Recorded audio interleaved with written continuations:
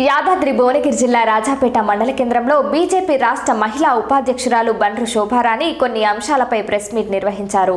ఈ కార్యక్రమంలో BJP party రాష్ట్ర మహిళా ఉపాధ్యక్షురాలు బండ్రు శోభారాణి ఆలేరు బీజేపీ పార్టీ నియోజకవర్గ in charge Kanuganti Srinivas Reddy BJP జిల్లా ఉపాధ్యక్షులు ఉట్కూరి అశోక్ గౌడ్ కొన్నే విజయ్ కుమార్ రాజాపేట ఎంపీటీసీ దాచపల్లి రాజు రాజాపేట వార్డు సభ్యులు కోయ మధు చింతం వేణు కొన్నె విజయ్ చిగుళ్ళ బీరయ్య బిర్రు సురేష్ వనం నందు కాకల్ల మల్లయ్య సంపత్ బీజేపీ పార్టీ కార్యకర్తలు అభిమానులు తదితరులు పాల్గొన్నారు.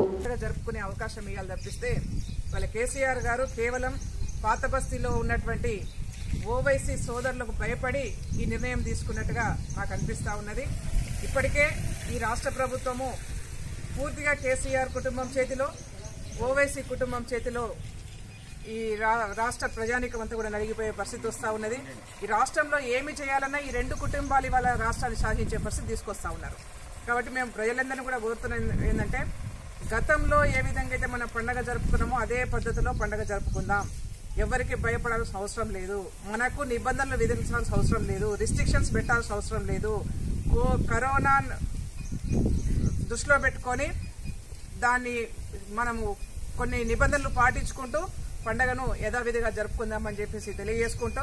కరోనా మీద ముఖ్యంగా ఈ ప్రాంతంలో ఉన్నటువంటి ప్రథమ పౌరురాలు తెలంగాణ రాష్ట్ర ప్రథమ పౌరురాలు మన గవర్నర్ గారు ఒక డాక్టర్గా ఈ ప్రాంతానికి గవర్నర్గా వచ్చినటువంటి ఒక మహిళ ఈ రాష్ట్ర ప్రభుత్వానికి కొన్ని సూచనలు చేశారు.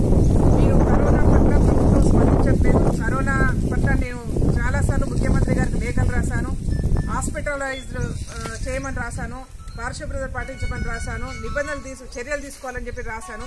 కానీ ప్రభుత్వం ఏం కూడా పట్టించుకోవట్లేదని చెప్పేసి కొన్ని వాక్యాలు తను మాట్లాడిన సందర్భంలో తెలంగాణ రాష్ట్ర సమితి నాయకులు గవర్నర్ గారిని మీరు గవర్నర్ గారా లేకపోతే భారతీయ జనతా పార్టీ నాయకులు అని విమర్శించే స్థాయికి దిగజారిపోయినారు. మేము ఒకటే అడుగుతా ఉన్నాం. గతంలో వచ్చిన గవర్నర్లు కాళేశ్వరం ప్రాజెక్టు దగ్గరికి వెళ్ళి హరీష్ రావు పేరు కాళేశ్వరరావు అని పెట్టొచ్చని పొగుడుతనేమో ఓహో ఆహా అని మాట్లాడిన మీరు వీళ్ళ ప్రజల యొక్క సంక్షేమాన్ని దృష్టిలో పెట్టుకొని ఒక గవర్నర్ స్థాయిలో ఉన్నటువంటి ఒక ప్రథమ పౌరురాలు ప్రభుత్వానికి సూచనలు ఇస్తే తప్పు పట్టే దిగజారు స్థాయికి మీరు దిగిపో దిగిపోయినని చెప్పేసి కూడా ఈ సందర్భంగా మేము చెప్- తెలియజేసుకుంటూ వెంటనే ఎవరైతే సైదిరెడ్డి ఈ వ్యాఖ్యలు చేశారో తెలంగాణ రాష్ట్ర సమితి నాయకుడు కేసీఆర్ గారు సైదిరెడ్డిని సస్పెండ్ చేయాలని చెప్పేసి తెలియజేసుకుంటూ చుట్టూ కాలువలో ఒక లేదు.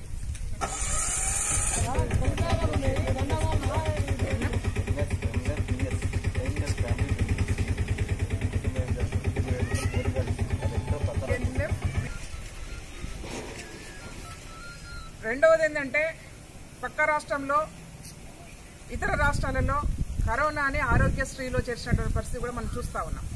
మరి కేసీఆర్ గారు తెలంగాణ రాష్ట్రము ధనిక రాష్ట్రం అని చెప్తున్నటువంటి పెద్ద ఆయన కరోనాని కూడా ఆరోగ్యశ్రీలో చేర్చాలని చెప్పేసి డిమాండ్ చేసుకుంటూ నేషనల్ ఫ్యామిలీ బెనిఫిట్స్ స్కీమ్ కింద ఒక కుటుంబంలో యజమాని చనిపోతే ఇరవై వేల రూపాయలు సెంట్రల్ గవర్నమెంట్ నుంచి ఫండింగ్ ఉంటుంది. కానీ వల్ల కేవలం ఏంటంటే సెంట్రల్ గవర్నమెంట్కు ఎక్కడ పేరు వస్తుందో వాళ్ళ స్కీమ్లు ఇంప్లిమెంటేషన్ అయితే ఎక్కడ మోడీ గారి ప్రాబల్యం పెరుగుతుందో అనే ఒక కుట్రతోని అనేక కుటుంబాలకు రావాల్సినటువంటి ఫండ్ను ఇవాళ కేసీఆర్ గారు రిలీ ఇవ్వనటువంటి పరిస్థితి ఆ ఫండ్ అట్లనే మురిగిపోతున్నటువంటి పరిస్థితి వల్ల మనం చూస్తూ ఉన్నాం. కాబట్టి భారతీయ జనతా పార్టీగా డిమాండ్ చేస్తూ ఉన్నాం.